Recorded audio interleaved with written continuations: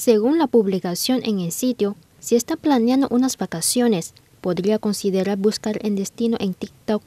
Esta red social se ha convertido en una de las primeras plataformas a las que acuden las personas para calificar la calidad de los restaurantes y atractivos turísticos, incluidas las playas más hermosas del mundo. Como resultado, la playa de Nha Trang en la provincia centro-vietnamita de Khai Hoa ocupó el tercer lugar en la lista al contar con 64,6 millones de visitas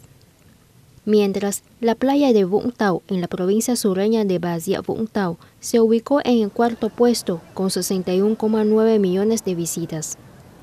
El artículo también relata que la playa de Nha Trang, por su agua clara y actividades de buceo, es conocida como una de las más famosas en el país indochino.